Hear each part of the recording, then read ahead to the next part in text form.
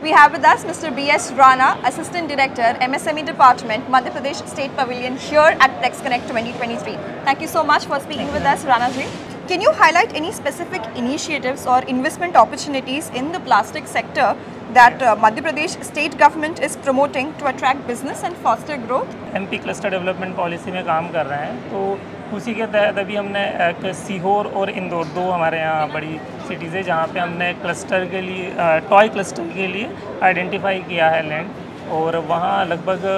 20 unit जो है वो इंदौर में लगभग आ रही है और 49 यूनिट्स जो हैं वो सीहोर में आ रही है तो बेसिकली टॉय क्लस्टर को लेके अभी हमारा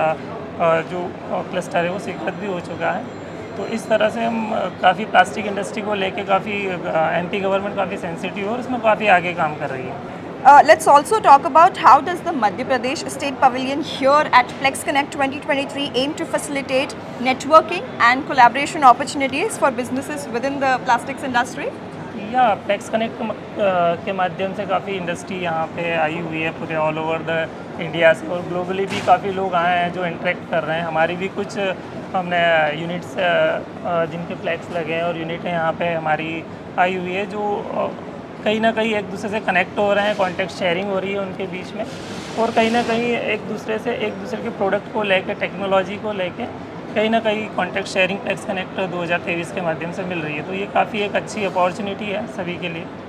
Rana ji what support and incentive does the Madhya Pradesh government provide to promote the development and expansion of S M Es within the plastics industry and how is this reflected in the state pavilion here that we are here to या MP government की काफ़ी policies हैं plastic industry and other industry को attract करने के लिए। इसमें MP MSME promotion scheme जो है, उसमें कोई भी यूनिट अगर एमपी में अपना इन्वेस्टमेंट करती है तो उसके प्लांट एंड मशीनरी पे जो इन्वेस्टमेंट है और उसकी बिल्डिंग का इन्वेस्टमेंट उसका 40 परसेंट तक कैपिटल सब्सिडी प्रोवाइड की जाती है। इसके अलावा कोई अगर नवाचार करता है या स्टार्टअप भी स्टार्ट करता है तो उसमें भी उसको 15 परसेंट अप टू 15 लाख तक की सब्सिडी प्रोवाइड की जाती है। और क्लस्टर में अगर कोई पाँच यूनिट पाँच एकड़ तक की लैंड आइडेंटिफाई करके अपनी यूनिट चालू करते हैं तो उनको ढाई करोड़ तक का इंफ्रास्ट्रक्चर डेवलपमेंट सब्सिडी और अगर दस एकड़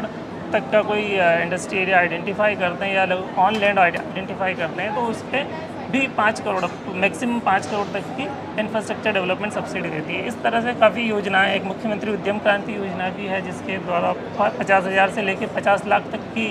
लोगों को बैंकों के माध्यम से या वित्तीय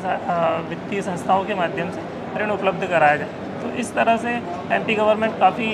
योजनाएँ हैं, जिसके माध्यम से यूनिटों को उत्पादों को आकर्षित कर रही है, उनको यहाँ पे इस्टेब्लिश होने के लिए काफ़ी सहायता प्रोवाइड कर रही है। Thank you so much for speaking with us.